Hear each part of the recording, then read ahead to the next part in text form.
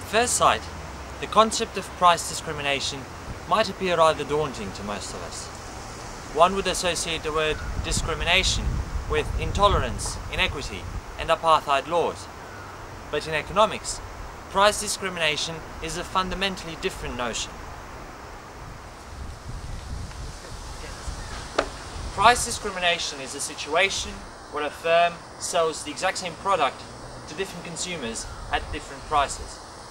Its aim is to increase its revenue and hence its profits. But not all firms can price discriminate, and some conditions are necessary. Firstly, firms need to have some ability to set prices. Price discrimination cannot occur in a situation of perfect competition where firms are price takers.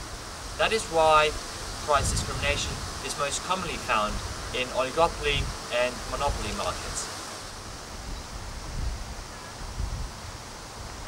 Secondly, different consumers need to have different price elasticities of demand for the product. If this wasn't the case, they would not be willing to pay different prices for the same good. This can be seen on the diagram.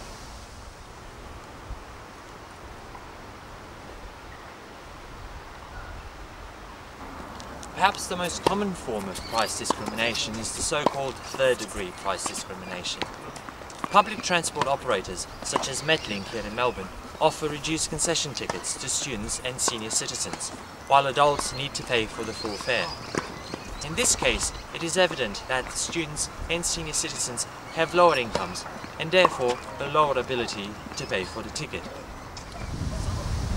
A third condition necessary for price discrimination to occur is the firm's ability to separate consumers. Otherwise, it would be all too easy for someone who's enjoying the low price to sell some items to those who normally be expected to pay the higher price, possibly even earning a little something for themselves.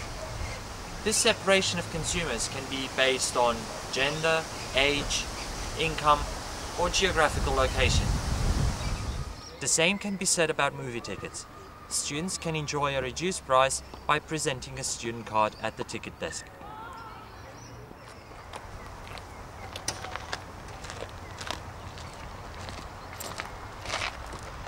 Now, what about the impact of price discrimination on stakeholders?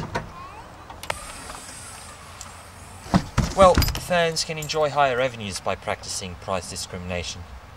In addition, by producing more of the same good, they can benefit from economies of scale. Consumers, at the same time, are now able to afford some of the products which they couldn't in a non discriminated market.